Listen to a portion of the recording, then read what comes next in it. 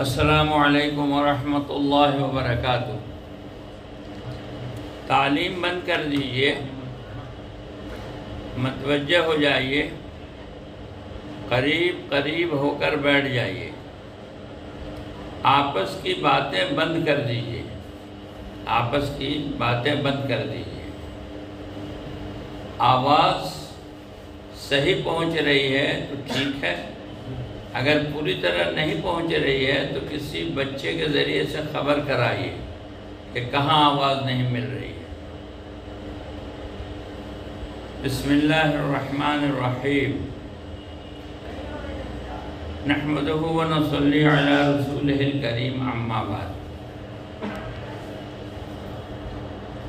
अल्लाह तबारक ताली ने इस दुनिया के निज़ाम को मर्दों और औरतों से चलाया है। दोनों के जोड़ से, दोनों के इत्तेफाक से, दोनों के इत्तेहाद से, दोनों के मेल जोल से, दोनों के नुसरत और एक दूसरे का साथ देने से दुनिया की ज़िंदगी भी कामयाब होती है और मरने के बाद वाली आखरत की ज़िंदगी भी कामयाब होती है।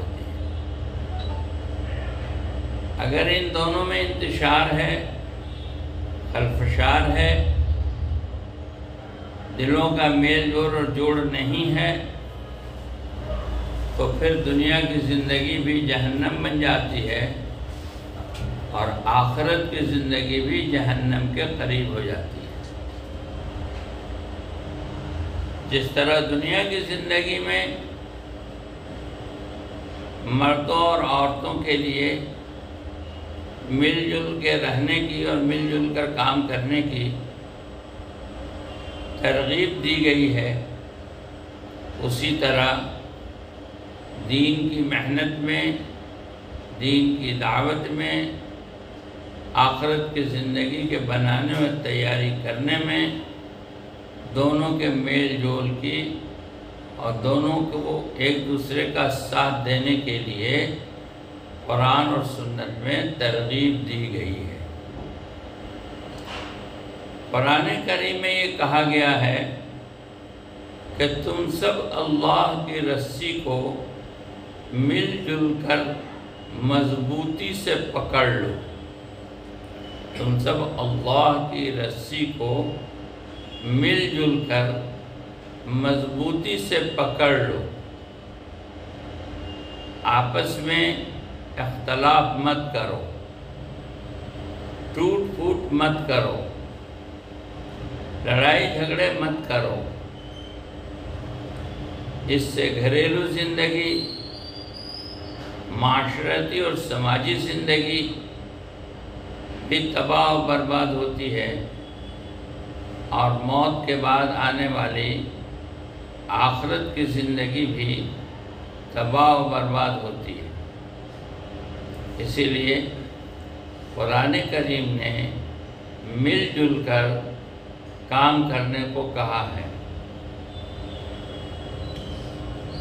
कि मर्दों और औरतों में जो लोग भी ईमान के साथ अच्छे अमाल करेंगे, हम दुनिया ही में उनको जन्नत का मज़ा देंगे। मर्दों और औरतों में से जो लोग भी ईमान के साथ अच्छे अमाल करेंगे, हम दुनिया ही में उनको मज़ेदार ज़िंदगी गुजरवाएँगे। और जो दुनिया में अल्लाह ताला को भूला कर ज़िंदगी गुजारेंगे, अल्लाह ताला से दूर होकर ज़िंदगी गुजारेंगे कुरान ये कह रहा है कि हम उनकी ज़िंदगी को तंग कर देंगे और दुशवार कर देंगे। तो मर्दों और औरतों में से जो लोग भी ईमान के साथ अच्छे अमाल करेंगे, हम उनको दुनिया ही में मज़ेदार ज़िंदगी गुजरवाएँगे। ये मर्दों को भी दावत है अपनी ज़िंदगी बनाने की और औरतों को भी दावत है अपनी ज़िंदगी बनाने की, दोनों को अपनी ज़िंदगी बनानी है। इसी तरह कुरान पाक ने ये कहा कि मर्द और औरत अगर मिलजुल कर भलाइयों को फैलाएँगे बुराइयों को रोकेंगे, यानी अम्र मारूफ और नहीं मुनकर का काम करेंगे, दावत का और तबलीग का काम करेंगे, अल्लाह के बंदों को भलाइयों की तरफ़ बुलाएँगे और बुराइयों से रोकेंगे, नमाज़ कायम करेंगे, ज़क़़त देंगे अल्लाह और उसके रसूल की इतात करेंगे तो यही लोग काबिल रहम हैं। अलमोमिन वलमोमिनत, बाज़हम अलिया बाज़, यामरून बिलमारूफ मुनकर। ये मुसलमान मर्द, मुसलमान औरतें जब एक दूसरे का साथ देकर एक दूसरे का मददगार बनकर, एक दूसरे को कोऑपरेट करके जब ये भलाइयों को फैलाने का काम और बुराइयों से रोकने का काम करेंगे तो अल्लाह तबारक ताला ऐसे लोगों के बारे में ये कहा गया है कि ये लोग काबिल रहम हैं। अल्लाह की रहमत इन पर उतरेगी। हम घर में अकेले नहीं हैं, दस के साथ हैं। छोटे बड़े रिश्ते नाते हैं। कहीं हम माँ बाप हैं तो कहीं हम बेटा बेटी भी हैं। कई भाई बहन के रिश्ते में बंधे हुए हैं। कहीं बीवी और शौहर के रिश्ते में बंधे हुए हैं। हम अकेले नहीं हैं, हम दस के साथ हैं। ये घरेलू ज़िंदगी हमारी कैसे कामयाब होगी दुनिया में भी, और मौत के बाद आखिरत में हम कैसे कामयाब होंगे, इसके लिए हमें उसूल बताया गया। दस्तूर बताया गया, कानून बताया गया, घर में रहने का तरीक़ा बताया गया। अगर उस तरीक़े पर हमारी घरेलू ज़िंदगी है तो हमारा घर जन्नत का नमूना बनेगा। उस तरीके पर अगर हमारी घरेलू ज़िंदगी नहीं है तो हमारा घर जहन्नम बनेगा। चाहे हमारे पास चीज़ें और सामान बहुत हों। माल और दौलत बहुत हो। ओहदे और डिग्रियाँ बहुत हों। लेकिन हमारे पास अगर घरेलू ज़िंदगी का दीन नहीं है तो ये चीज़ें हमारी ज़िंदगी को खुशगवार नहीं बना सकती। ये चीज़ें हमारी ज़िंदगी को खुशगवार नहीं बना सकती। सामान राहत, हम पैसे से, दौलत से ख़रीद सकते हैं, लेकिन राहत हम नहीं ख़रीद सकते।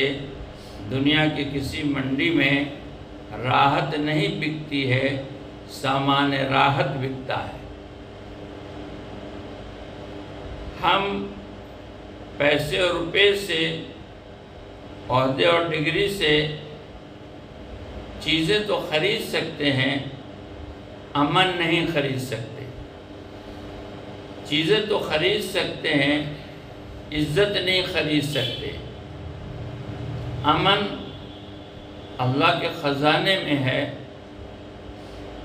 राहत अल्लाह के ख़जाने में है, इज़्ज़त अल्लाह के ख़जाने में है, किसी बाज़ार में ये नहीं बिकता। इसीलिए आप घरेलू ज़िंदगी में ये देखती होंगी कि आदमी मुख्तलिफ़ पोजीशन में है, मुख्तलिफ़ डिग्रियों के साथ है, मुख्तलिफ़ के साथ है, बेशुमार माल व मता के साथ है, गाड़ी, घोड़े और बंगले के साथ है, लेकिन घरेलू ज़िंदगी उसकी तबाह है। घरेलू ज़िंदगी उसकी बेचैनी में है, हैरानी में है। परेशानी में है। ज़िल्लत छाई हुई है। डिप्रेशन में चला जा रहा है आदमी। सेडेशन में चला जा रहा है आदमी। डॉक्टर्स ये बता रहे हैं कि आपका ब्लड प्रेशर फ़िक्र की वजह से बढ़ रहा है। परेशानियों की वजह से बढ़ रहा है। आपका शुगर बेचैनी और हैरानी की वजह से बढ़ रहा है। ये घरेलू ज़िंदगी की वो परेशानियाँ हैं जो इंसानी ज़िंदगी को तबाह कर रही हैं। हालाँकि सामान उसके पास बहुत है, नक्शे उसके पास बहुत हैं, चीज़ें उसके पास बहुत हैं। घरेलू ज़िंदगी के बाद एक हमारी माशरती ज़िंदगी भी है, जिसको समाजी ज़िंदगी कहते हैं, जिसको सोशल लाइफ कहते हैं, समाजी ज़िंदगी के भी कुछ हकूक़ हैं, कुछ राइट्स एंड ड्यूटीज़ हैं, कुछ तरीक़ार है, जो हमको कुरान से और नबी पाक सल्लल्लाहु अलैहि वसल्लम की ज़िंदगी से और मदीन पाक की माशरत से मदीन पाक की जो समाजी ज़िंदगी थी, जो सोशल लाइफ थी, उससे भी हमें माशरती ज़िंदगी मिलती है। अगर हमारी समाजी ज़िंदगी, वहाँ भी हम तनहा नहीं हैं, हम समाज के एक फ़र्द हैं। समाज में सैकड़ों घर हैं, सैकड़ों महल्ले हैं सैकड़ों टाउनशिप्स हैं, हम तनहा नहीं हैं। लेकिन समाजी ज़िंदगी के वसूल, समाजी ज़िंदगी के एटिकेट्स और मैनर्स समाजी ज़िंदगी में वक्त गुजारने का तरीक़ा, अगर हमारे पास नहीं है तो हम समाज में भी अकेले पड़ जाएँगे। ये भी हमारे लिए इंतशार का बास बनेगा, खलफशार का बास बनेगा। तो हमारी इनफरादी ज़िंदगी हो इंडिविजुअल लाइफ या हमारी फैमिली लाइफ हो, घरेलू ज़िंदगी हो, या हमारी समाजी ज़िंदगी हो, इन सब में हमारा एक रोल है जो हमको प्ले करना है। एक तरीक़ेकार है जिसको हमको अख्तियार करना है। अगर हमने उस तरीक़ेकार को नहीं अख्तियार किया तो हमारी इनफरादी ज़िंदगी, घरेलू ज़िंदगी, समाजी ज़िंदगी सब परेशान कन बन के रहेंगी। इसके लिए हमें एक मेहनत दिया गया है। हमें एक काम दिया गया है। एक तरीक़ार दिया गया है। जिसको मश्क करके, मेहनत करके अपनी ज़िंदगी में लाना है। उसमें सबसे बुनियादी बात यह है कि मर्द दुनिया में कहीं भी है तो आखिर में एक मर्द है, एक इंसान है, एक आदमी है। उसकी जो रियलिटी है जो हकीकत है, वो इतने ही है कि ये एक आदमी है, एक इंसान है, एक मर्द है। औरत कहीं भी है तो इसकी हकीकत ये है कि एक औरत है। अल्लाह तबारक ताली ने उसको मर्द की हैसियत से मुखातब किया है, ख़िताब किया है, डील किया है कि यह मर्द है। ये रियल है। बाकी जितनी चीज़ें हैं वो रियल नहीं है वर्चुअल है।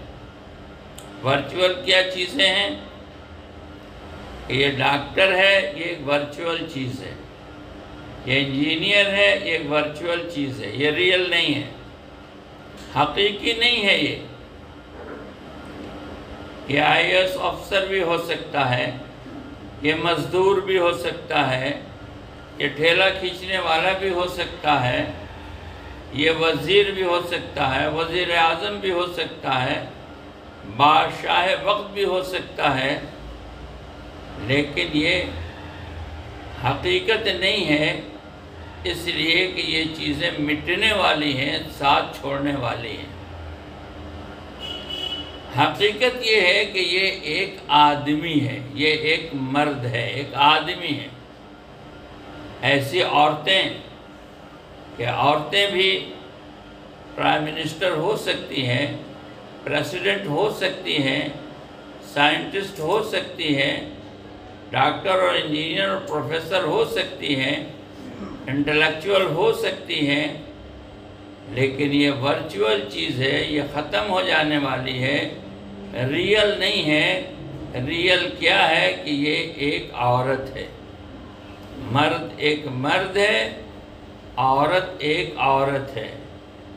ये सुरैया पर भी पहुँच जाए और ये चाँद पर भी पहुँच जाए और ये मरीख पर भी पहुँच जाए, इसकी हैसियत न मर्द के एतबार से बदलेगी, न औरत के एतबार से बदलेगी। वहाँ भी मर्द मर्द है और औरत औरत है। जो इनफरादी ज़िंदगी, घरेलू ज़िंदगी और माशरती ज़िंदगी, ये जो तबाह बर्बाद होती है, ये उस वक्त होती है जो जब आदमी वर्चुअल चीज़ों को रियल बना लेता है। मैं सिर्फ़ मर्द नहीं हूँ, बल्कि मैं डॉक्टर मर्द हूँ। मैं सिर्फ़ मर्द नहीं हूँ, बल्कि मैं एक आईएएस मर्द हूँ। मैं सिर्फ़ मर्द नहीं हूँ, बल्कि मैं प्राइम मिनिस्टर हूँ। अब उसने अपने मर्द होने की जिम्मेदारियाँ भुला दिया और अपने प्राइम मिनिस्टरशिप को रियल लाइफ समझ लिया तो इसके वजह से इसकी ज़िंदगी में तबाही आएगी कि इसका जो मिजाज बनेगा, अब प्राइम मिनिस्टर के अतबार से बनेगा इसका मिजाज एक आदमी के एतबार से नहीं बनेगा कि मैं एक आदमी हूँ। जब मैं एक आदमी हूँ तो मेरी इब्तदा क्या है और मेरी इंतहा क्या है? कि इब्तदा भी बहुत कमज़ोर है। जब मैं एक आदमी हूँ तो मेरी इब्तदा बहुत कमज़ोर है और इंतहा भी बहुत कमज़ोर है। इब्तदा भी कोई काबिल ज़िक्र चीज़ नहीं है और इंतहा भी कोई काबिल ज़िक्र चीज़ नहीं है। इब्तदा बहुत कमज़ोर और ज़ीफ़ है और इंतहा भी बहुत कमज़ोर और ज़ीफ़ है कि इंतहा में ये जितनी चीज़ें हमारे पास वर्चुअल हैं, वो सब दुनिया में रह के ख़त्म हो जाएँगी। और हम अपनी कब्रों की तरफ़ कदम बढ़ा देंगे। वो हमारी हकीकी ज़िंदगी होगी, वो हमारी रियल लाइफ होगी, जहाँ ये जिसम चाहे किसी बेपढ़े मज़दूर गरीब का है या किसी मुल्क के बादशाह और वज़ी अज़म का है, ये जिसम सड़ेगा, गलेगा, फूलेगा हटेगा गोश्त को कब्र की मिट्टी ख़त्म कर देगी, खून को चूस लेगी, कीड़े इसको खा लेंगे, हड्डियाँ जोड़ों से अलग हो जाएँगी, सर फटेगा और भेजा बाहर निकलेगा, आँख नीचे लटक जाएगी। छः महीना, साल भर, दो साल के अंदर ये बेहैसियत और बेमकाम होकर मिट्टी में मिल जाएगा। ये रियलिटी है, ये हकीकत है। इब्तदा में जो है, वो भी रियलिटी और हकीकत है। वो कमज़ोर सी शक्ल नन्हे मुन्ने वाली और इंतहा भी मिटने वाली ये हकीकत है। बीच की ज़िंदगी की ये बनावटें हैं जो आर्टिफिशियल हैं। अगर बीच की ज़िंदगी की बनावटों को हकीकत समझकर उससे अपनी कीमत लगाएगा रियल लाइफ से अपनी कीमत नहीं लगाएगा, और बीच की ज़िंदगी की जो वर्चुअल चीज़ें हैं, उससे अपनी कीमत लगाएगा। तो जब ये अपने वैल्यू को उन चीज़ों से लगाएगा जो रियल नहीं हैं तो फिर इसकी अपनी ज़िंदगी में भी परेशानियाँ हैं और घरेलू ज़िंदगी में भी परेशानियाँ हैं और माशरती ज़िंदगी में भी परेशानियाँ हैं। सब कुछ के बावजूद ये किसी वालदेन की औलाद है घरेलू ज़िंदगी में। और बच्चे और बच्चियों का बाप है घरेलू ज़िंदगी में। और अपने बहनों का भाई है घरेलू ज़िंदगी में। उसी तरह से अपनी बीवियों का शौहर है घरेलू ज़िंदगी में, औरतें उसी तरह किसी की बेटियाँ हैं, किसी की बहन हैं, किसी की बीवी हैं और किसी की बच्ची हैं। इस एतबार से अगर मर्द घरेलू ज़िंदगी में अपने आप को किसी की औलाद समझकर ज़िंदगी गुजार रहा है और किसी का बाप समझकर ज़िंदगी गुजार रहा है और किसी का शौहर समझकर ज़िंदगी गुजार रहा है और किसी का भाई समझ समझकर ज़िंदगी गुजार रहा है, उसके राइट्स एंड ड्यूटीज़ को समझ रहा और जान रहा है, उसके हकूक़ को पहचान रहा है तो फिर दुनिया की घरेलू ज़िंदगी जन्नत का नमूना बनेगी। ऐसी हम समाज के एक फ़र्द हैं। यहाँ हमारे पड़ोसी भी हैं। यहाँ हमारे रिश्तेदार भी हैं। ये हमारे अगल बगल में रहने वाले रहने वाले लोग हैं। उनके हकूक़ हैं, उनकी जिम्मेदारियाँ हैं। अगर समाज में हमने अपनी आर्टिफिशियल अहदे को जो ख़त्म हो जाने वाला है, उस हैसियत से अपनी पहचान बनाई तो फिर समाज हमसे मोहब्बत नहीं करेगा, बल्कि नफ़रत करेगा। इसलिए कि समाज में एक फ़र्द की हैसियत से हम नहीं हैं, बल्कि समाज में एक अहदेदार की हैसियत से हैं। समाज में गरीब भी होंगे और अमीर भी होंगे। काले भी होंगे और गोरे भी होंगे, कमज़ोर भी होंगे और मज़बूत भी होंगे, पढ़े भी होंगे और बेपढ़े भी होंगे, बूढ़े भी होंगे और बच्चे भी होंगे। सबके हकूक़ बनते हैं। अगर उनके सामने हमने अपनी हैसियत बनाई और अपने हैसियत के अतबार से अपनी कीमत लगाई, अपना वैल्यू लगाया और हमने समाज से ये डिमांड किया, ये मुतालबा किया कि मेरी हैसियत को पहचानो, मेरे मकाम को पहचानो और मुझे मेरी हैसियत के अतबार से मान सम्मान करो, मेरी हैसियत के अतबार से मुझे इज़्ज़त दो और मेरी हैसियत के अतबार से मुझे मकाम दो। ये नहीं कि मैं समाज का एक फ़र्द हूँ, जैसे इस समाज का एक बेपढ़ा आदमी भी फ़र्द है। जैसे इस समाज का एक गरीब आदमी भी एक फ़र्द है, जैसे इस समाज का एक कमज़ोर आदमी भी एक फ़र्द है, जैसे इस समाज का एक काला कलौटा आदमी भी एक फ़र्द है, ऐसे ही इस समाज में एक हम फ़र्द हैं। इस फ़र्द के एतबार से अपनी कीमत लगाया कि मेरी कीमत क्या है, कि मेरी कीमत यह है कि मेरा इब्तदा काबिल ज़िक्र नहीं है और मेरा इंतहा भी काबिल ज़िक्र नहीं है। ये मेरा पहलू है। मेरी कीमत ये है कि मेरा इब्तदा भी काबिल ज़िक्र नहीं है और मेरी इंतहा भी काबिल ज़िक्र नहीं है। ये हमारा वैल्यू है, हमारी कीमत है। अब इस एतबार से अगर कीमत लगाएगा तो हर एक के लिए इसके दिल में कदर हो जाएगी। हर एक से इसका जोड़ हो जाएगा। हर एक से इसकी मोहब्बत हो जाएगी। हर एक से इसका रिश्ता बन जाएगा।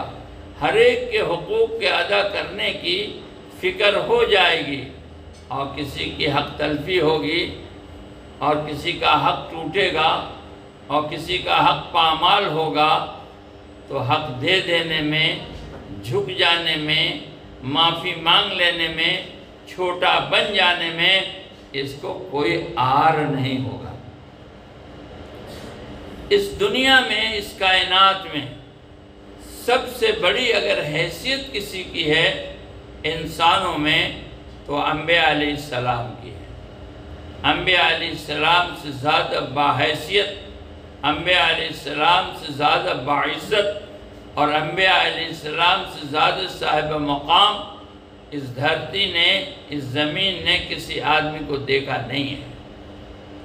अल्लाह ताला के बाद खालिक कायनात के बाद, मालिक कायनात के बाद, अगर किसी की हैसियत है इस दुनिया में तो अम्बिया सलाम की है। जिनको अल्लाह ने मासूम बनाया, जिनको अल्लाह ने बेगुनाह बनाया, उनके ज़िम्मे कोई गुनाह नहीं है। अगर नबियों के सरदार इमामुलम्बिया सरदारुलम्बिया हज़रत मोहम्मद सल्लल्लाहु अलैहि वसल्लम को इस दुनिया में लाना नहीं होता तो अल्लाह ताला इस दुनिया को बनाते ही नहीं। ये हैसियत है हज़रत मोहम्मद सल्लल्लाहु अलैहि वसल्लम की। जितनी हैसियतें वर्चुअल जो मैंने अर्ज़ किया, हमने दुनिया में बना रखी है कि ये बादशाह हैं और ये वज़ी अजम हैं और ये करोड़पति और अरबपति हैं। जितनी हैसियतें हमने दुनिया में बना रखी है, ये तमाम की तमाम हैसियतें और ये तमाम के तमाम पावर्स और ये तमाम के तमाम एडजेक्टिव्स और खसूसियात अगर एक जगह जमा कर दिया जाए तो हज़रत मोहम्मद सल्लल्लाहु अलैहि वसल्लम के कदमों के धूल के बराबर भी इनकी हैसियत नहीं है। सारे दुनिया के बादशाह एक जगह जमा हो जाए तो हुजूर वसल्लम के कदमों के पैरों के धूल के बराबर भी इनकी हैसियत नहीं है। इतनी बड़ी हैसियत का मालिक हज़रत मोहम्मद सल्लल्लाहु अलैहि वसल्लम अपने घरेलू ज़िंदगी में, अपने इंडिविजुअल लाइफ में, अपने सोशल लाइफ में, अपने को किस तरह प्रेजेंट किया है किस तरह पेश किया है अपनी हैसियत को? जो बाहैसियत थे, अपने को बेहैसियत बना के पेश किया है। समाज में एक उल्फत और मोहब्बत को कायम करने के लिए एक मिसाल कायम किया है कि हम हम इनफरादी ज़िंदगी के एतबार से कैसे हैं और घरेलू ज़िंदगी के एतबार से कैसे हैं और माशरती ज़िंदगी के अतबार से कैसे हैं, ये हमारे लिए लेसन है, टीचिंग है, ये हमारे लिए मसल राह है। हमको सिखलाया गया, बताया गया कि जिसको सबसे ज़्यादा बहैसियत बनाया, उन्होंने आपको अपने आप को सबसे ज़्यादा बेहैसियत बनाया। जिनको हमने सबसे ज़्यादा बाहैसियत बनाया, उन्होंने अपने आप को सबसे ज़्यादा बेहैसियत बनाया ये हमें सिखलाया गया कि अगर दुनिया में एक सही ज़िंदगी गुजार कर, दुनिया की ज़िंदगी भी अमन और चैन और राहत और इज़्ज़त और बरकत और हिफाजत वाली बनानी है और मरने के बाद आखरत में भी अपने को साहिब मकाम बनाना है और जन्नत का वारिस बनाना है तो हज़रत मोहम्मद सल्लल्लाहु अलैहि वसल्लम ने जो सबसे बड़े हैसियत के मालिक थे जिस तरह उन्होंने अपनी हैसियत को गिराया, अल्लाह ने उठाया और उन्होंने अपने हैसियत को गिराया, अल्लाह ने वैल्यू सबसे ज़्यादा लगाया, उन्होंने अपना वैल्यू सबसे ज़्यादा कम लगाया, अगर हम इस राह पर चलेंगे, उस तरीके पे चलेंगे तो फिर दुनिया की ज़िंदगी भी जन्नत का नमूना बनेगी और आखरत की ज़िंदगी भी जन्नत का नमूना बनेगी हज़रत मोहम्मद सल्लल्लाहु अलैहि वसल्लम मासूम अब बेगुनाह हैं, लेकिन आप रोज़ाना सत्तर सत्तर दफ़े अल्लाह से माफ़ी मांग रहे हैं। गुनाह नहीं है, लेकिन माफ़ी कायम है। ये कौन सी माफ़ी है जब गुनाह नहीं है? हम गुनाह पर भी माफ़ी नहीं मांगते हैं बल्कि दलील देते हैं कि हमसे गुनाह हुआ ही क्या है, और एक शख्स ऐसा है जिसको अल्लाह ने ऐसी हैसियत दी कि वो वो बेगुनाह है, लेकिन वो बार बार माफ़ी माँगता है। ये माफ़ी माफ़ी किस चीज़ की है जब गुनाह है ही नहीं? ये माफ़ी शुक्र की माफ़ी है। शुक्र की माफ़ी है।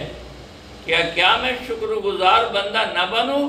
कि जिस अल्लाह ने हमको मासूम और बेगुनाह बनाया, उसके शुक्र में हम इस्तफार करते हैं, हमारी माफ़ी उसके शुक्र में है।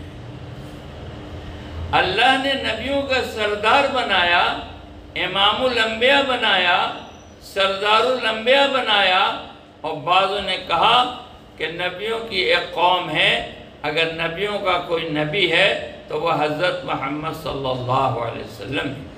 नबियों की कौम का कोई नबी है तो हज़रत मोहम्मद सल्लल्लाहु अलैहि वसल्लम अल्लाह ने इतना बुलंद मकाम दिया और आपने अल्लाह के सामने अपनी अबदियत, अपनी न्याजमंदी इस तरह पेश की, इस तरह पेश की कि अबदियत में, सारे कायनात में कोई ऐसा अब्द नहीं है, कोई ऐसा बंदा नहीं है जिसने अल्लाह के सामने अपने को सरेंडर कर दिया और पेश कर दिया जो हज़रत मोहम्मद सल्लल्लाहु अलैहि वसल्लम आपको रफ़तों और बुलंदियों का इमाम बनाया गया, लेकिन आपने अपने आप को अल्लाह के सामने एक बंदा बनाकर, एक ग़ुलाम बनाकर डाल दिया। आप उकड़ू बैठकर खाना खा रहे हैं और आपसे लोग कह रहे हैं कि आप ऐसा खाना खा रहे हैं तो आप कह रहे हैं, मैं चाहता हूँ कि मैं एक ग़ुलाम की तरह खाऊं कि मैं अल्लाह का ग़ुलाम। अल्लाह आपको बुलंद कर रहा है और आप अल्लाह के सामने न्याजमंदी पेश कर रहे हैं कि मैं बंदा बन के रहना चाहता हूँ। अब ये इबरत और सीख है मर्दों और औरतों के लिए कि अल्लाह ने हमें एक हैसियत दिया कि हमें अशरफुल मखलूक़ात बनाए। अल्लाह फरमाता है कि सारी कायनात को हमने हुक्म से बनाया है इंसान, हमने तुमको अपने दोनों हाथों से बनाया। अल्लाह पाक को कोई हाथ है नहीं है। ये तमसील है, मिसाल है। ये मोहब्बत और ताल्लुक़ की बात है कि अल्लाह फरमा रहा है कि ए इंसान, पूरी कायनात को, चाँद सूरज को, ज़मीन और आसमान को छोटे बड़े तमाम मखलूक़ात को हमने हुक्म से बनाया है और तुमको अपने दोनों हाथों से बनाया।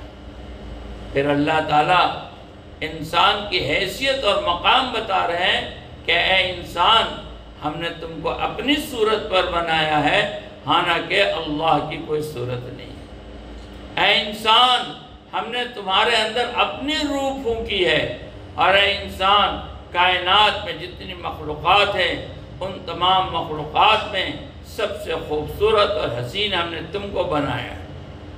और इंसान, हमने तुमको अपना खलीफा बनाया है, अपना नायब बनाया है, और इंसान, हमने तुमको अशफुल मखलूक़ात बनाया ये अल्लाह इंसान की हैसियत बता रहे हैं कि हमने तुमको कितना बाहैसियत बनाया। अब मुतालबा क्या है कि मुतालबा है इंसान से ये मर्दों और औरतों से ये कि जिस तरह नबियों को हमने बुलंद किया और हज़रत मोहम्मद सल्लल्लाहु अलैहि वसल्लम को बुलंद किया तो उन्होंने अपनी बुलंदी को, अपनी बुलंदी को अल्लाह ताला की अबदियत में डाल दिया कि या अल्लाह, आपने हमें बुलंद किया, लेकिन मैं तो आपका ग़ुलाम हूँ, आपका बंदा हूँ। मैं तो आपका फर्मा बरदार हूँ। मैं तो आपकी इतात करने वाला हूँ, आपकी बात मानने वाला हूँ।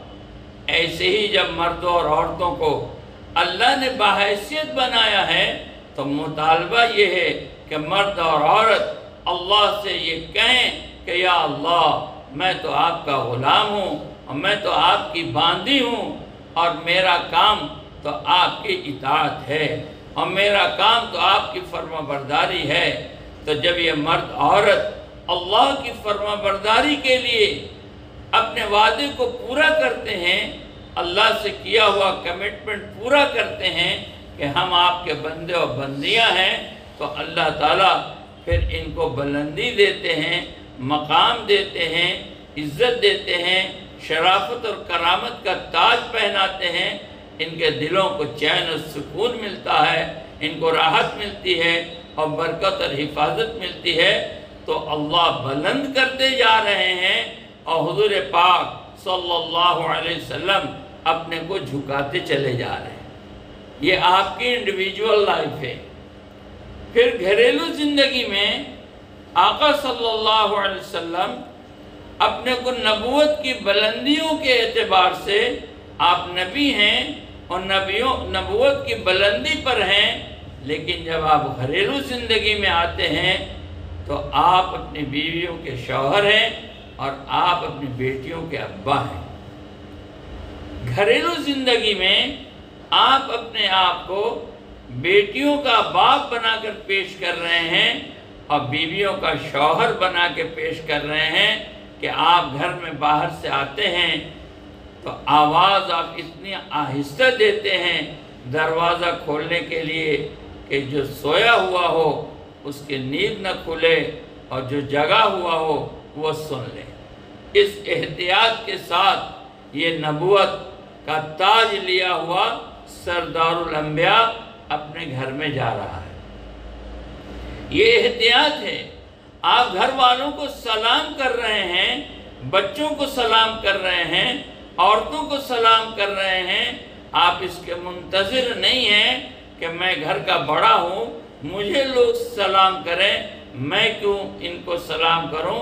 आप सलाम में पहल करते हैं कि आप बच्चों को भी सलाम करते हैं और आप औरतों को भी सलाम करते हैं। आप रात में घर में नमाज़ पढ़ रहे हैं तहजद की पास में बीवी है, आप उनको जगा नहीं रहे हैं, बल्कि अपने हाथ से जब सजदे के लिए जाते हैं तो उनको पैरों को मोड़ देते हैं और पैर पे हाथ रख के पैर को जगह बना के सजदे की आप सजदा करते हैं, लेकिन आप बीवी को जगाते नहीं हैं कि मैं तहजद पढ़ रहा हूँ और तुम सोई हुई हो। आप उनको कुछ नहीं कह रहे हैं, बल्कि अपने सजदे का की जगह बना लेते हैं और उसका नज़म बना लेते हैं। ये आपकी घरेलू ज़िंदगी घर में अगर आटा गूंधा जा रहा है तो आप उसमें भी मददगार बन जाते हैं और चूल्हा जलाया जा रहा है तो उसमें भी आप मददगार बन जाते हैं। घर के काम काज में आप मददगार बन जाते हैं। नबूत की हैसियत वहाँ नहीं जताते हैं, बल्कि आप बच्चियों के बाप और बीवियों के शौहर की हैसियत से घर में रहते हैं। आखिरी वक्त है, आप दुनिया से तशरीफ़ ले जा रहे हैं। आपने घर की औरतों को जमा किया और घर की औरतों से ये कहा कि देखो, बहुत दिन तक हम लोग एक साथ रहे, अब चल चलाव है, मेरा दुनिया से जाने का वक्त आ रहा है। अगर हमारी वजह से तुम लोगों को कोई तकलीफ़ पहुँची हो और तुम्हारा कोई हक मेरे ऊपर रह गया हो तो अपने हक का मुतालबा करके ले लो, ताकि आखिरत में तुम अपने हक का मुतालबा अल्लाह से न करो। एक नबी अपने घर की औरतों के सामने अपने आप को पेश कर रहा है कि हमसे बदला ले लो, ये आपकी घरेलू ज़िंदगी की हैसियत है। कि घरेलू ज़िंदगी में अपने आप को आपने कैसा रखा। ये हमें बताया जा रहा है कि हम मर्द की हैसियत से हों या औरत की हैसियत से, हमें अपने घरेलू ज़िंदगी में कैसे रहना है। अगर बच्चे की किसी गलती पर हमने उसको तंबी की और उसको मारा तो घरेलू ज़िंदगी का ये दीन बता रहा है कि जिस वक्त गुस्सा आवे, उस वक्त बच्चों को सज़ा मत दो, उस वक्त किसी को सज़ा मत दो, बल्कि गुस्से को उतरने का इंतज़ार करो। यह हमारी तरबियत की गई है। जब गुस्सा उतर जाए, तब देखो कि किस दर्जे की गलती थी और किस दर्जे की सज़ा देनी चाहिए। फिर उस गलती का उस दर्जे का सज़ा दो ये उस बच्चे का हक है वालदेन पर। अगर उसकी गलती से ज़्यादा सज़ा दी तो कल इसका हिसाब होगा और कल इसका सवाल होगा कि गलती से सज़ा तुमने ज़्यादा क्यों दी। हम लोग अपने घरेलू ज़िंदगी में कहते हैं, माशरती ज़िंदगी में कहते हैं कि जब गुस्सा उतर ही जाएगा तो मारेंगे कैसे? गुस्सा उतारने के लिए नहीं मारना है बल्कि तंबीह के लिए सज़ा मुकर करना है, लेकिन सज़ा गलती के मैग्नीच्यूड के अतबार से होना चाहिए कि गलती कितनी है तो उसकी सज़ा कितनी है। क्या समझा देने से काम चल जाएगा, या डांट देने से काम चल जाएगा, या उससे ज़्यादा की ज़रूरत है? ये हमारे घरेलू ज़िंदगी का दीन है कि उम्मत का नबी अपने आप को पेश कर रहा है कि बदला दे। इसी तरह माशरती ज़िंदगी में हज़रत मोहम्मद सल्लल्लाहु अलैहि वसल्लम ने सहाबा को मस्जिद में जमा किया और सहाबा के सामने अपने को पेश किया कि देखो एक मुद्दत तक हम लोग साथ रहे, एक जगह रहे हुए हैं। मेरा चल चलाव है, दुनिया से जाने का वक्त है, अगर किसी का कोई हक मेरे ऊपर रह गया है तो ले लो।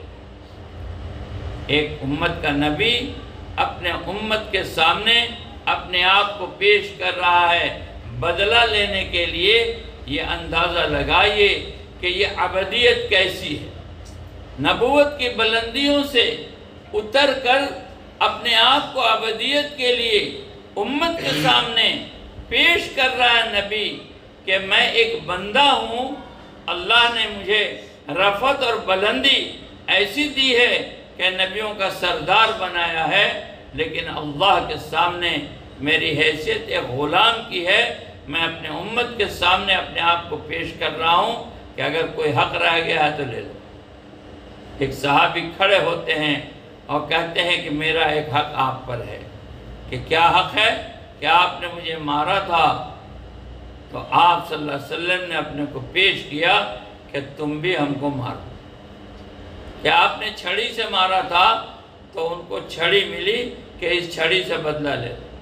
और साहबी कह रहे हैं कि जिस वक्त आपने मुझे मारा था, मेरे जिस्म पे कपड़ा नहीं था, आपके जिस्म पर तो कपड़ा है। कुर्बान जाइए। ताजदार मदीने का कि आका सल्लल्लाहु अलैहि वसल्लम ने अपना कपड़ा जिस्म से उतार दिया। आप खुले बदन हो गए और आपने कहा, अब बदला ले लो। तो साहबी दौड़ते हुए आए और महर नबूत को चूम लिया।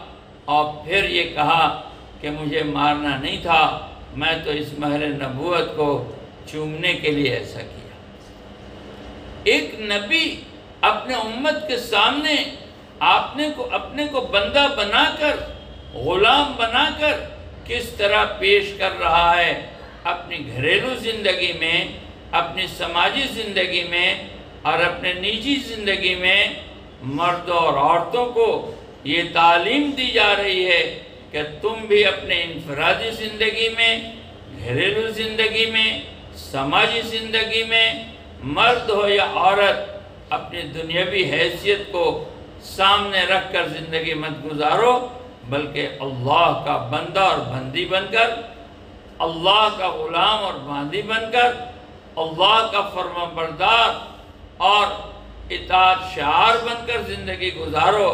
कि हम अल्लाह की बंदियाँ हैं और हम नबी पाक सल्लल्लाहु अलैहि वसल्लम के उम्मती हैं।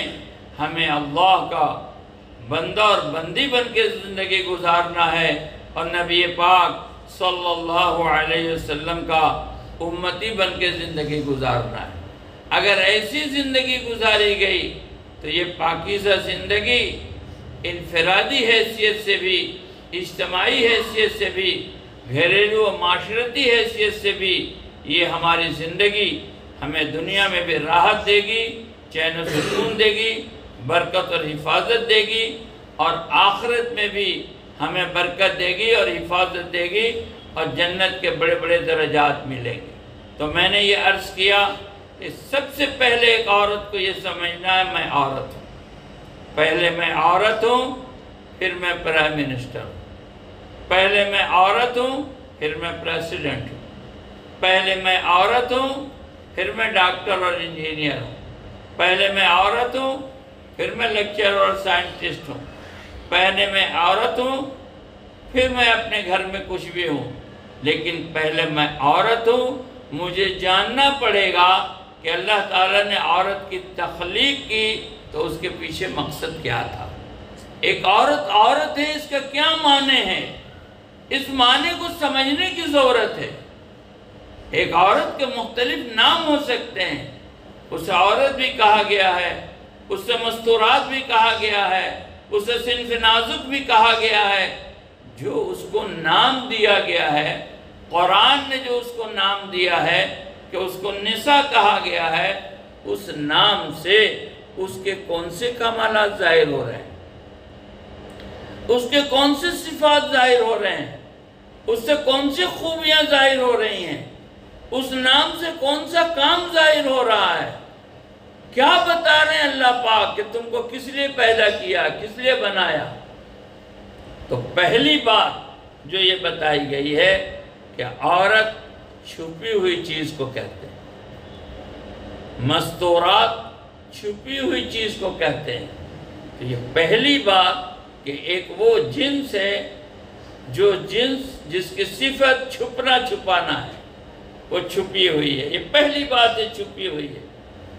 इसीलिए अल्लाह तबार को ताला ने उसको हया देकर भेजा है, हया देकर। उसे बाहया बनाया है, हया देकर भेजा है, छुपाया है उसको। और दुनिया में दस्तूर है कि कीमती चीज़ें छुपाई जाती हैं, डॉलर छुपाए जाते हैं। सोना छुपाया जाता है हीरा छुपाया जाता है। कोई सरे बाज़ार लेके नहीं फिरता, बल्कि लोगों के निगाहों से उसको छुपाया जाता है। तो मस्तूर का मस्तूरात, छुपी हुई चीज़। इसीलिए सिफत के एतबार से, पैदाइशी एतबार से, जब उसको पैदा किया तो हयात देकर पैदा किया। घर में एक बच्चा पैदा हुआ, एक बच्ची पैदा हुई आप पैदा होते ही बैन फ़र्क देखेंगे कि बच्ची के अंदर हया होगी। पैदाशी तौर पर अल्लाह की तरफ़ से दी हुई हया है। बच्चे के मुकाबले में इसके अंदर हया ज़्यादा होगी। उसको नरम बनाया गया है। सिंफ नाजुक है वो। इसको कड़ा बनाया गया है। ये सिंफ करख्त है। इसके पीछे भी बात है कि इसको नाजुक क्यों बनाया? और इसको हार्ड क्यों बनाया? इसको हार्ड इसलिए बनाया कि इसको ज़माने के थपेड़ों से मुकाबला करना। जो बाहर की ज़िंदगी में जो हार्डशिप और दुश्वारियाँ हैं, जो चैलेंजेस हैं, उससे इसको मुकाबला करना है, इसलिए इसको सख्त बनाया। और इसके ज़िम्मे, कि इसके ज़िम्मे तो प्यार है और मोहब्बत है और नर्सिंग है। इसीलिए इसको नरम बनाया कि सख्त जान से नर्सिंग नहीं होती है, बल्कि नर्सिंग के लिए नरम होना पड़ेगा, खिदमत के लिए नरम होना पड़ेगा। इसीलिए इसकी ज़ुबान को भी सॉफ्ट बनाया, आवाज़ देखें, मर्द की आवाज़ कड़ी होगी, औरत की आवाज़ नरम होगी, मर्द की आवाज़ करख्त होगी। औरत की आवाज़ में नरमी होगी, उसमें प्यार मिलेगा, उसमें मोहब्बत मिलेगी। आवाज़ का फ़र्क देखिए। इसको देख के समझना पड़ेगा कि औरत को किस काम के लिए बनाया गया और मर्द को किस काम के लिए बनाया गया। जिस काम के लिए अल्लाह ने इसको बनाया है, पहले उस एतबार से इसको अपनी हैसियत जानना होगा। बाद में ये सब कुछ है। बाद में ये सब कुछ है शरीयत ने जहाँ तक इसके लिए जायज़ कर दिया है, वो सब कुछ है बाद में, लेकिन पहले औरत है। अगर अपने घरेलू ज़िंदगी में ये औरत नहीं है और कुछ और है तो फिर ये नाकामयाब है। अपनी माशरती ज़िंदगी में ये औरत नहीं है और कुछ और है तो ये नाकामयाब है। अपने घरेलू और माशरती ज़िंदगी में पहले औरत है और बाद में सब कुछ है तो ये कामयाब है। इसको अपने माँ बाप के लिए एक बेटी बनना पड़ेगा। अपने बच्चों के लिए माँ बनना पड़ेगा। भाइयों के लिए बहन बनना पड़ेगा। जब ये ये हैसियत इसकी घरेलू ज़िंदगी में होगी, अपने शौहर के लिए बीवी बनना पड़ेगा तो फिर कुरान ये बताएगा, और नबी पाक सल्लल्लाहु अलैहि वसल्लम की माशरत ये बताएगी कि किस एतबार से इसकी हैसियत है। शरीयत ने इसको हैसियत दी है कि माँ के एतबार से इसकी ऐसी हैसियत है और इसका ऐसा मकाम है कि इसके कदमों के नीचे जन्नत है। इसके कदमों के नीचे जन्नत है माँ की हैसियत से। अल्लाह ने इसका मकाम कितना बुलंद किया। ये औरत अपनी हैसियत प्रोफेसर, डॉक्टर, इंजीनियर के अतबार से न देखे। ये प्राइम मिनिस्टर और प्रेसिडेंट के एतबार से न देखे मिलियनर और बिलियनर के एतबार से न देखे, ये अपनी हैसियत जो अल्लाह ने इसको दी है और जो नबी ने इसको दिया है, उस हैसियत से इसको देखे कि मैं माँ हूँ और माँ होने के नाते मैं मर्दों और औरतों के लिए मेरे कदमों के नीचे जन्नत है। अल्लाह ने इसको ये हैसियत दी। एक हैसियत और अल्लाह ने इसको दिया है। जो बेमिसाल हैसियत है कि अल्लाह ने इसको नबिया तो नहीं बनाया, इसलिए कि नबूत एक ज़िम्मेदारी है। और ये सिनफ नाजुक है, ये नबूत के बोझ को नहीं उठा सकती। एक औरत नबूत के बोझ को नहीं उठा सकती है। अल्लाह ने इसको ऐसा बनाया ही नहीं है कि नबूत के बोझ को उठावे। नबूत का बोझ इस पर डालना ज्यादती होगा, इसलिए कि नबूत का बोझ ये नहीं उठा सकती। खिलाफत का बोझ ये नहीं उठा सकती, इमामत का बोझ ये नहीं उठा सकती, क़यादत और सयादत का बोझ ये नहीं उठा सकती। इसलिए इस बोझ को इस पर नहीं डाला कि इसको नबिया नहीं बनाया, खलीफा नहीं बनाया, इमाम नहीं बनाया। लेकिन उससे ऊपर की एक चीज़ दी जो एजाज में बहुत बड़ी हुई है। वो क्या चीज़ दिया? इसको ऐसी बड़ी चीज़ दी कि नबी नहीं बनाया, लेकिन नबियों की माँ बनाया। नबी नहीं बनाया, लेकिन नबियों की माँ बनाया। ऐसे नबी मिलेंगे जिनका कोई बाप नहीं, लेकिन ऐसा नबी नहीं मिलेगा कि जिसकी कोई माँ नहीं। हर नबी की माँ है, हज़रत आदम सलाम को छोड़कर। वो किसी माँ से नहीं पैदा हुए हैं। बाकी तमाम नबी माँ से पैदा हुए हैं और माँ की तज़ीम और माँ की अजमत और माँ से प्यार और मोहब्बत ये नबी के ज़िम्मे भी है। तो कितनी बड़ी हैसियत दी कि नबूत को जिम्मेदार नबूत की ज़िम्मेदारी तो नहीं दी, लेकिन नबियों की माँ बनाकर नबियों से प्यार और मोहब्बत का का हक दे दिया कि नबी को भी माँ से प्यार करना पड़ेगा और मोहब्बत करनी पड़ेगी और इज़्ज़त करनी पड़ेगी। नबूत का बोझ नहीं दिया, लेकिन इज़्ज़त दे दिया कि नबी के लिए भी ये मोहतरम है। इसलिए कि नबी की माँ है। चुनाचे आका सल्लल्लाहु अलैहि वसल्लम फरमाते हैं, मैं फ़र्ज़ नमाज़ की नीयत बांधे रहूँ। मेरी तमन्ना है कि मैं फ़र्ज़ नमाज़ की नीयत बांधे रहूँ। और मेरी माँ मुझे आवाज़ दे। मेरी माँ मुझे आवाज़ दे। मोहम्मद मोहम्मद। तो मैं अपने फ़र्ज़ नमाज़ की नीयत तोड़कर माँ की आवाज़ पर लब्बैक कहूँ। माँ तो छः साल की उम्र में चली गई थी। आप तो अपने माँ और बाप दोनों तरफ़ से यतीम थे, लेकिन आप हमें तालीम दे रहे हैं कि तुम्हारी माओ की ये हैसियत है कि तुम फ़र्ज़ नमाज़ की नियत आका फरमा रहे हैं कि मैं नमाज़ पढ़ा रहा हूँ इमाम रहूँ इमाम कि मैं ही नमाज़ पढ़ा पढ़ा रहा हूँ और इमामत कर रहा हूँ। और इमामत की हालत में मुझे माँ ये आवाज़ दे, मोहम्मद तो मैं नीयत तोड़कर माँ की आवाज़ पर लब्बैक कहूँ। ये माँ की हैसियत से एक औरत को ये अजमत दिया, ये मकाम दिया। कि जब वो माँ होती है तो उसकी हैसियत कैसी बनती है? उसी तरह बेटी है तो उसको एक मकाम दिया कि बाप के लिए बेटे से ज़्यादा बेटियाँ काबिल तरजीह हैं कि बेटी आती है तो अल्लाह का सलाम लेकर आती है। बेटी आती है तो अल्लाह का सलाम लेकर आती है कि एक बेटी आई तो एक सलाम आया, दो बेटी आई तो दो सलाम आया। तीन बेटी आई तो तीन सलाम आया। कुरान कह रहा है कि बेटियाँ आती हैं तो तुम्हारा चेहरा उतर जाता है। बेटियाँ आती हैं तो तुम्हारा चेहरा उतर जाता है। और बेटे आते हैं तो तुम्हारा चेहरा खिल जाता है।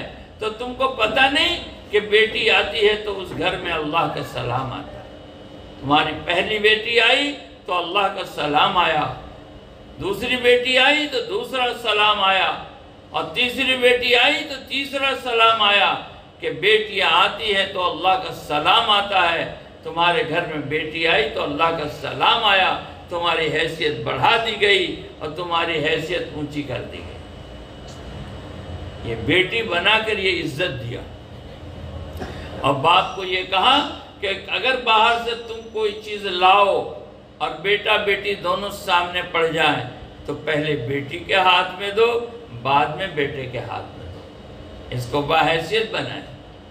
और जिन्होंने बेटी की परवरिश की और तालीम और तरबियत किया और उसका निकाह किया तो इस फ़र्ज़ के अदा करने के बाद उसके लिए जन्नत है।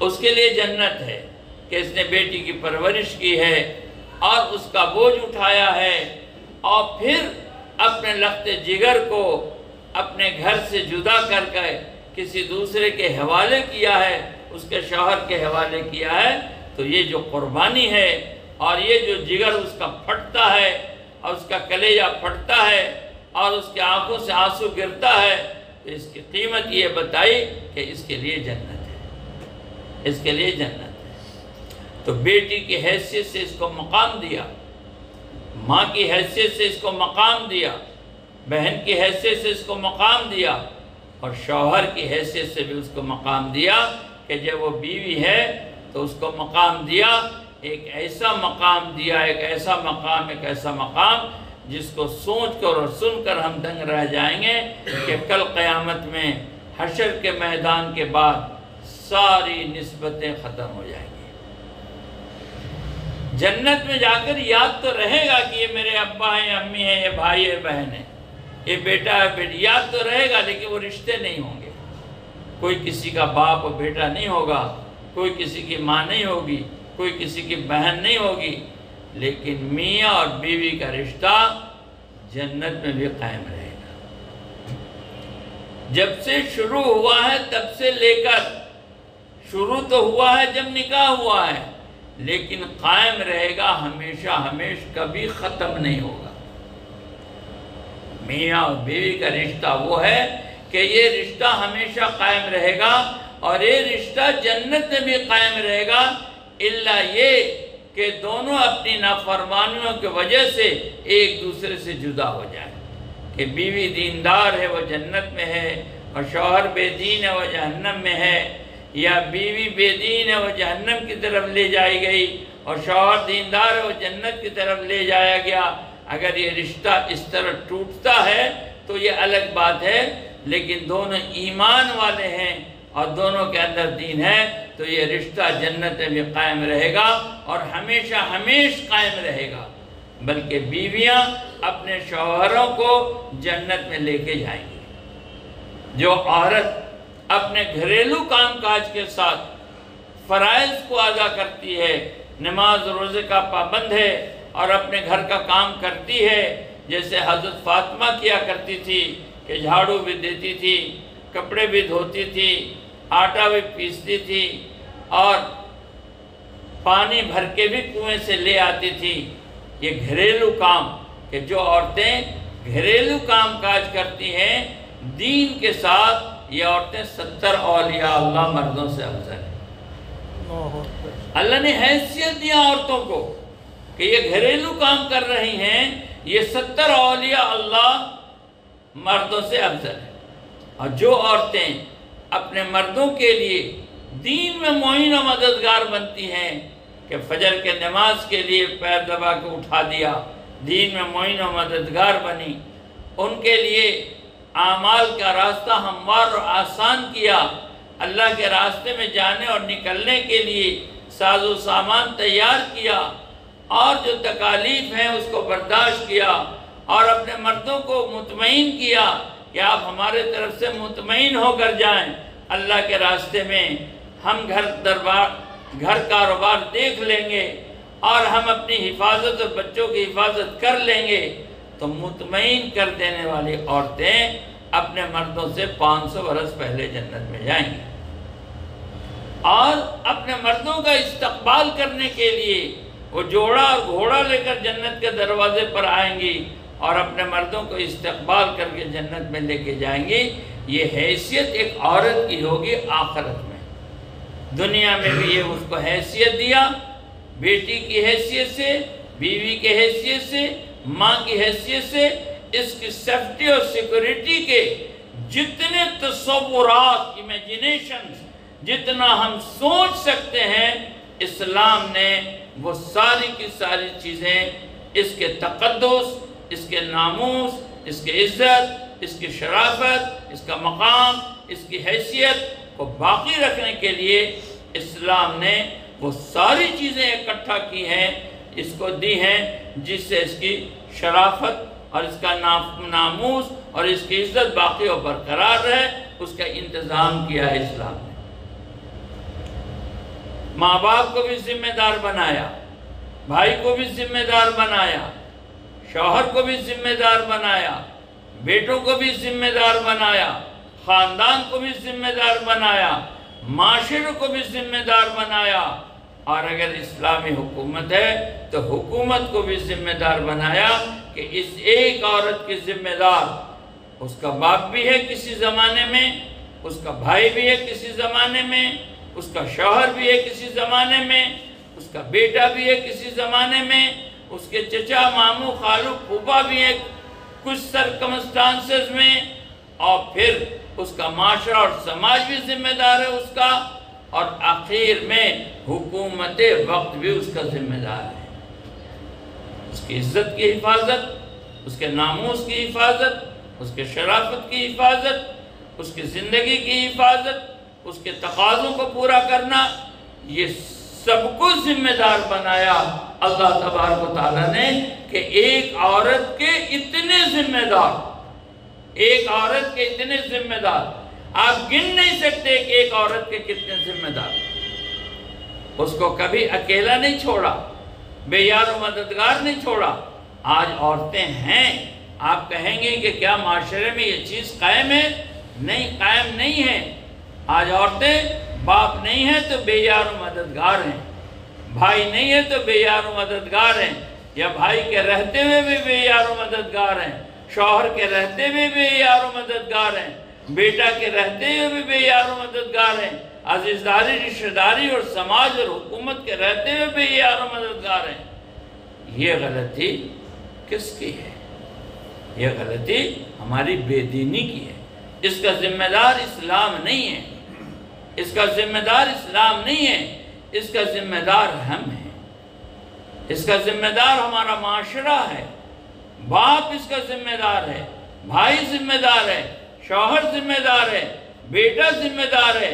अगर कोई औरत मजलूमा है और बेयार मददगार है तो ये सारे इसके लिए मुहतसिब होंगे और इन सबको इसका हिसाब अल्लाह के सामने देना पड़ेगा और इसका नुकसान इसका नुकसान दुनिया में भी इनको होगा और इसका नुकसान आखिरत में भी इनको होगा। कि इनको जिम्मेदार बनाया गया था निगरा बनाया गया था, उसकी इज़्ज़त और शराफत की हिफाजत के लिए ये जिम्मेदार थे, इन्होंने इसकी निगहबानी नहीं की। तो इसकी वजह इसकी वजह बेदीनी है। आज बेदीनी दोनों तरफ़ से है। औरतें भी अपने हकूक़ को नहीं पहचान रही हैं कि मेरे मेरे ऊपर किसका किसका हक है और मर्द भी अपने हकूक़ को नहीं पहचान रहा है। हमने अल्लाह का हक भी ज़ाया किया, नबी सल्लल्लाहु अलैहि वसल्लम का हक भी ज़ाया किया, हम दीन का हक भी ज़ाया किया और अपने घरेलू ज़िंदगी के हकूक़ और माशरती और समाजी ज़िंदगी के हकूक़ हमने ज़ाया किए। इस ज़ाया करने की वजह से आज इतना इंतशार है, खलफशार है, परेशानी है, हैरानी है। इसके लिए ये काम है। ये ऐसा हमागीर काम है, जिस काम के ज़रिए से ये कहा जा रहा है कि मर्द अपनी हैसियत पहचान के अपनी ज़िंदगी बनाए और औरत अपनी हैसियत पहचान के अपनी ज़िंदगी बनाए।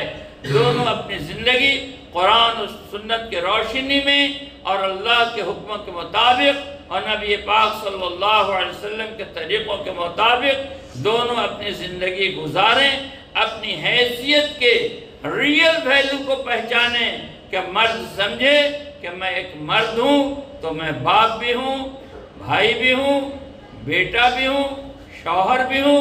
औरत अपनी हैसियत को समझे कि मैं माँ भी हूँ और बहन भी हूँ और बीवी भी हूँ और बेटी भी हूँ। अपनी हैसियत को समझकर अपनी ज़िंदगी बनाए। ये ये अपना रियल वैल्यू लगावे, असली कीमत लगावे।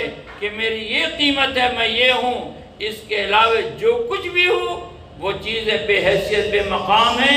मरने के बाद वो सारी चीज़ें ख़त्म हो जाएँगी। इसके लिए दावत की ये मेहनत है, तबलीग की एक मेहनत है। ये हमागीर मेहनत है, कुछ काम मर्दों के लिए, कुछ काम औरतों के लिए। औरतों के लिए तो ये काम बताया जाता है कि औरतों का असल काम घर की तालीम है। जितनी बहनें यहाँ जमा हैं सारी बहनें पहले तो अपनी ज़ात के अतबार से नियत करें कि घर में हम फ़जाल अमाल की तालीम करेंगे। हज़रत मौलाना यूसुफ साहब रहमत फ़जाइल की तालीम में आठ किताबें बताते थे, जिसको हज़रत शेख मौलाना जकरिया साहब से, हज़रत मौलाना इलियास साहब रहमत ने तकाजा करके लिखवाया। वो आठ छोटी छोटी पतली पतली किताबें हैं उसको एक जगह जमा करके उसका नाम फ़जाइल अमाल दे दिया गया है।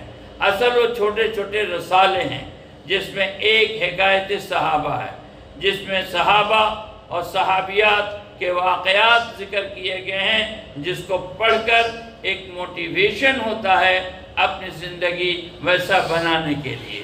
तो एक तो हकायत सहाबा है, दूसरा फ़जाइल नमाज़ है, तीसरा फ़जाइल ज़िक्र है चौथा फ़जाइल कुरान है, पांचवा फ़जाइल तबलीग है और छठा मुसलमानों की पस्ती का वाहिद इलाज है। रमज़ान में फ़जाइल रमज़ान ये वक्त के साथ है और हज में फ़जाइल हज ये सात और आठवां फ़जाइल सदक़ात इन आठ किताबों की तालीम के लिए मौलाना इस्सा रहमत ने कहा और हज़रत शेख ने इसको लिखा और मौलाना इलियास रहमत ने इनको लिखवाया। ये तीनों दौर में इन किताबों की तालीम होती चली आ रही है। तकरीबन नब्बे पंचानवे साल से तो फ़जाइल की तालीम। और कभी कभी वक्ता फ़वक्ता घरेलू तालीम में छः सिफात का मुजाकरा। ईमान नमाज़, इल्म ज़िक्र, इकराम मुस्लिम, अखलास नीयत और अल्लाह के रास्ते में निकलना। ये छः सिफात का मुजाकरा। फ़जाइल की तालीम और छः सिफात के मुजाकरे के ज़रिए अपने घर का माहौल दीनी और दावती बनाना है। दीनी और दावती। दीनी और दावती माहौल बनाने का क्या मतलब है? दीनी और दावती माहौल बनाने का मतलब यह है कि हमारे घर का हर फर्द फ़रज़ का पाबंद बनकर ज़िंदगी गुजार रहा हो। हमारे घर में जितने मर्द हैं, जितनी औरतें हैं, अल्लाह का फरीज़ा उनसे ज़ाया ना हो रहा हो। और हमारा पूरा घर मना की हुई चीज़ों से परहेज़ करता हो। जो गुनाह की चीज़ें हैं मना की हुई चीज़ें हैं, उससे परहेज करता हो। फ़रज़ का अहतमाम और इल्तज़ाम और गुनाहों से परहेज। ये काम पूरा घर करता हो। दीनी और दावती माहौल में पहली चीज़ ये है कि हमारे घर में फ़रज़ की पाबंदी हो और हराम की चीज़ों से इज्तनाब हमारे घर में कुरान का सीखना सिखाना हो, कुरान की तिलावत हो बगैर समझे पढ़ेंगे, नेकी मिलेगी। समझ के पढ़ेंगे, हिदायत मिलेगी। अरबी ज़ुबान में कुरान उतरा था, सहाबा समझते थे, हम अरबी ज़ुबान वाले नहीं हैं, हम नहीं समझते हैं तो हमें इसकी कोशिश करनी है तो हमारे घर में कुरान का सीखना सिखाना हो। एक आयत का सीखना सिखाना, सौ रकत नफिल पढ़ने से अफजल। तो कुरान पाक की तिलावत कुरान पाक का अहतमाम उसका सीखना सिखाना हमारे घर में होता। तस्वीहात की पाबंदी, कम से कम दर्जे में तीसरा कलमा दरुशरीफ इस्तफार सौ सौ बार सुबह। और यही तस्वीर सौ सौ बार शाम हमारे घर में तस्बीहात की पाबंदी होती हो। और हमारी घरेलू ज़िंदगी, सुन्नत के मुताबिक हो, हम कोशिश करें कि हमारी घरेलू ज़िंदगी सुन्नत के मुताबिक हो? खाना पीना भी, सोना उठना जागना भी, चलना फिरना भी, पहनना ओढ़ना भी, और उससे आगे बढ़कर शादी, ब्याह, कारोबार, हर चीज़ को हम सुन्नत के मुताबिक लाने की कोशिश करें। नबी पाक सल्लल्लाहु अलैहि वसल्लम की एक एक सुन्नत में इतना नूर है जितना सातों ज़मीन आसमान में नूर नहीं है। सातों ज़मीन आसमान मिलकर एक सुन्नत की कीमत नहीं लगा सकते। घर में हम अकेले नहीं हैं, जो मैंने पहले अर्ज़ किया था, हम दस के साथ हैं, हम अपने घरेलू ज़िंदगी में अखलाक, मोहब्बत और प्यार के साथ रहने वाले बने, हमारा घर जन्नत का नमूना उस वक्त बनेगा जब हम घरेलू ज़िंदगी में छोटा बन के चल रहे हों। बड़ा बन के चलने से घर टूटेगा, छोटा बन के चलने से घर जुड़ेगा। हम घर में छोटा बन के चलें और घर में खिदमत गुजार बन के चलें कि हम खिदमत करने वाले हों। खिदमत करने वाले छोटों पर शफकत और प्यार और मोहब्बत हो, बड़ों की खिदमत हो, खिदमत के मिजाज के साथ घर में चला जा रहा हो, ये है दीनी और दावती माहौल और अपने मर्दों को अल्लाह के रास्ते में, जाने में हम मुइन और मददगार बन रहे हो, रुकावट नहीं बन रहे हो। हफ्तवारी इज्तम शहर का हमारा, साक्षी जाम मस्जिद में होता है। हमारे मर्द वहाँ जाएँ संचर इसके लिए हम तैयार करके उनको सनीचर को साक्षी जाम मस्जिद के हफ्तवारी इज्तम में भेज रहे हों। मुकामी मस्जिद में हमारे मर्द नमाज़ के लिए जा रहे हों। औरतों की नमाज़ आज़ान के बाद घर में हो रही हो मर्द मस्जिद में जाकर नमाज़ पढ़ें इसके लिए अपने बच्चों को अपने मर्दों को प्यार मोहब्बत से तैयार करके मस्जिद भेजना और मस्जिद के काम से उनको जोड़ना। मस्जिद का काम मस्जिद वार जमात का काम है, जिसमें रोज़ाना का मशवरा है, रोज़ाना की मुलाकात है, मस्जिद की फ़जाइल की तालीम है, हफ़्ते का दो गश्त है और महीने का तीन दिन है। अपने मर्दों को उसमें शामिल करने के लिए प्यार और मोहब्बत से, खिदमत से खुशामद से तैयार करना और उसमें उनको भेजना। तो ये काम मर्दों के लिए है। फिर हमारे हलकों में मस्तूरात की हफ्तवारी तालीम होती है। उस हफ्तवारी तालीम में किताब पढ़ी जाती है फ़जाइल की और कुछ दीन की बातें होती हैं। सीखा सिखाया, सुना सुनाया जाता है। हमारी मस्तूरात आप ख़ुद हफ्तवारी इज्तम में अपने हल्के को पहुँचे। और फिर वक्ता फ़वक्ता मस्जिदवार जमात के साथियों के मशवरे से और शहर के साक्षी जामा मस्जिद के मशवरे से हमारा तीन दिन भी लग रहा हो वक्ता फ़वक्ता अशरा भी लग रहा हो, अपने महरम मर्दों के साथ। और सबसे अच्छा महरम शौहर है। और जिनका तीन दिन लग गया, अशरा लगे, जिनका अशरा लग गया, चिल्ला लगे, जिनका चिल्ला लग गया दो महीना बैरून के लिए वो अपने को तैयार करें। इस एतबार से अपने घरेलू जिम्मेदारियों को संभालते हुए जिम्मेदारों के राय मशवरे से वक्त लगे। ऐसा नहीं कि आज़ादाना तौर पर हमारा वक्त लगे।